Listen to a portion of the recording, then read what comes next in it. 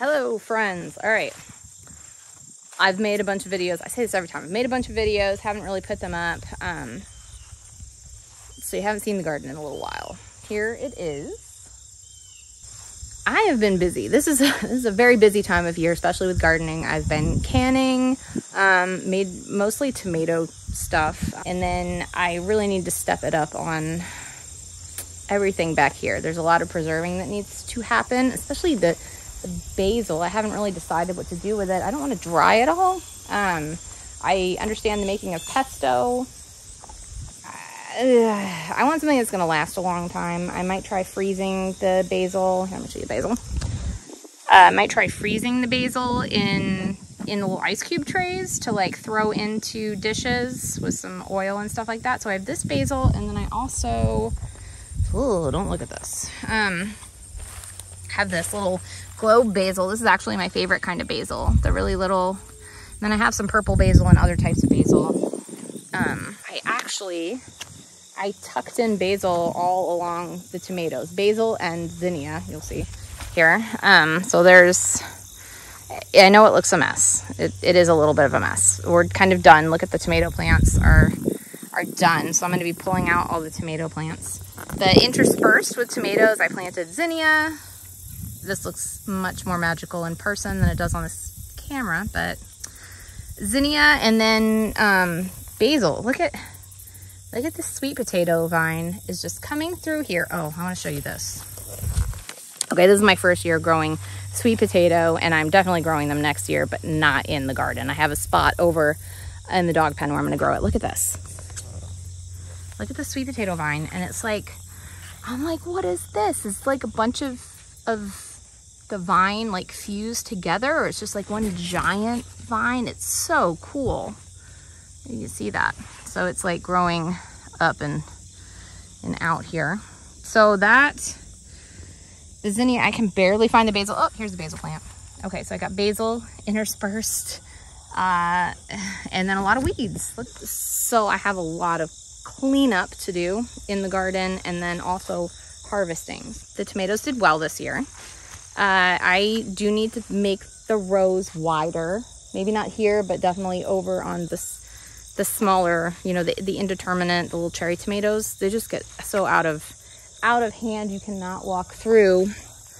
Uh, this is also because the sweet potatoes have taken over and the weeds. And there's a bunch of, uh, there's a nest of yellow jackets back there. So I stopped going back there and just gave up on my cherry tomatoes because I am not, I got stung and I am not, not getting stung again. Oh, here. Uh, remember I planted this? I wanted like a vertical. This is back when nothing was vertical. I don't know if you can remember that. So there was a point in time when the garden, there was nothing like vertical interest. Everything was just flat. And I was like, oh, I need vertical interest. Of course, now it's like tons of vertical, vertical elements. But I have a, there's a trellis underneath here that you can not see at all and I planted um, love in a puff and also some hyacinth bean, runner bean, but love in a puff, which is this, and it makes these little seed, uh, seed things. And look here, we'll pick this one. I'll show you. So this is, okay, that was weird. Here, I'm gonna focus now.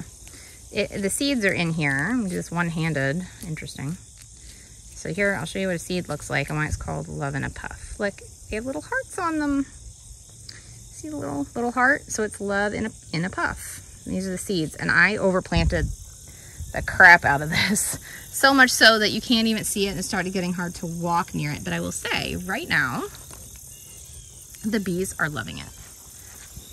I don't know about you. I'm guessing probably it's the same in your garden, but the bees and butterflies have favorite plants and it changes as the season goes on. So like they'll all be swarmed around a certain uh, vegetable or just like ornamental flower or something.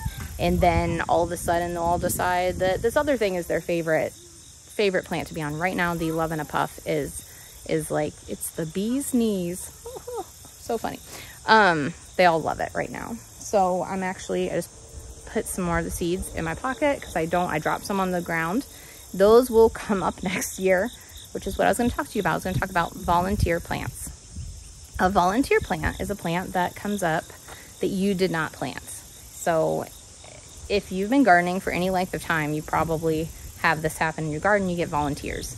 Um, I've been gardening long enough that if I did not plant a single thing next year, I would still get plants. I would get tomatoes, I would get basil, I would get herbs, I would get flowers, I would get squash, uh, just lettuce, kale, like all these things because they've they've grown and they've dropped seeds and and they just they come back. They don't come back where you want them to. Usually they just come back wherever. But you can then move them places, which is great if you're like me and maybe don't get started on seed starting at the right time. All of a sudden you'll be like, oh, I was supposed to start these seeds. And luckily you already have some out in the garden. You can just move to wherever you want. Um, and in your compost. If you're not a good, I'm not a good hot composter, so we get a lot of things growing up in our compost. So let me show you. All right, so for, for example, this right here is um, lettuce. It's lettuce. I had my, some lettuce over here. It went to seed, it threw out seeds, and now I have baby lettuce growing in my pathways. This is another lettuce. Um, here's another lettuce right here.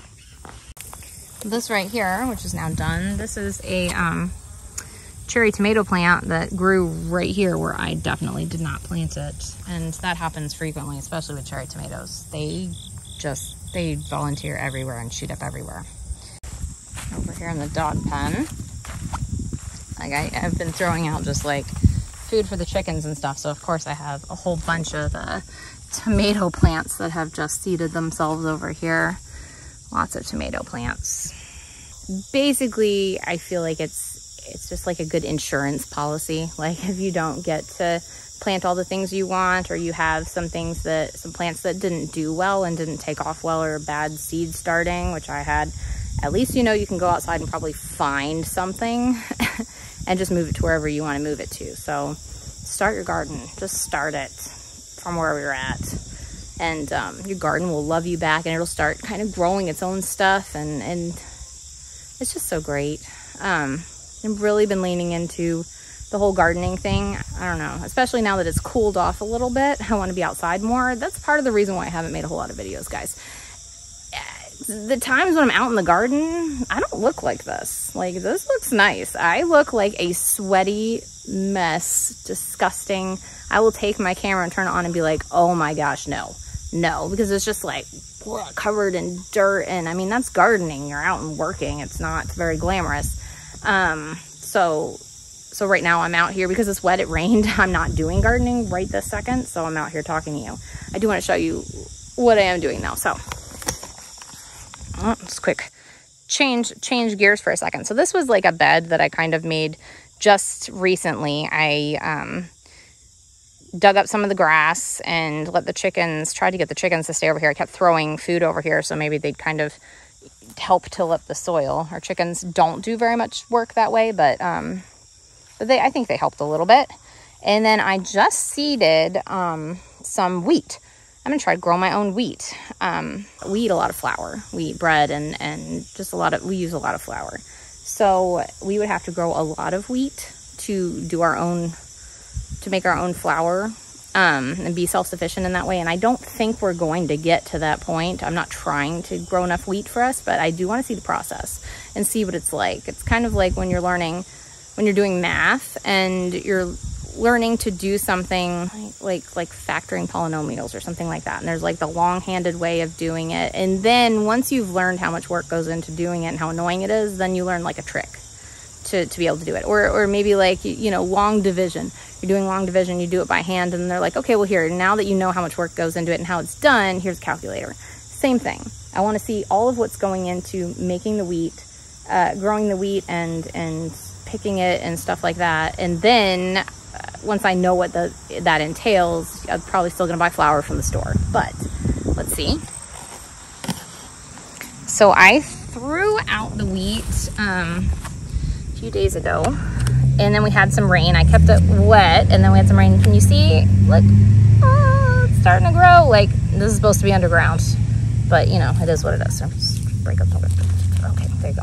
Um, so I'm excited. It's gonna grow, hopefully. So, but what this also means is that the poor chickens have been in chicken jail for a couple few days and they are really upset about it. They hate me they hate being in their coop because we let them out during the day and they only go in here at night. So they're all in here and they're like, why?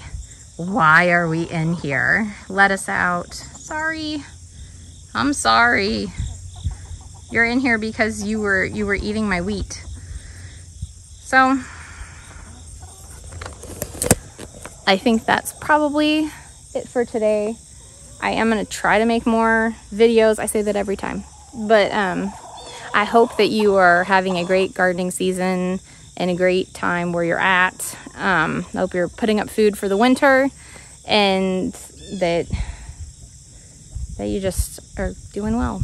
Yeah. So I will catch you on another video and uh, yeah, that's it. Bye.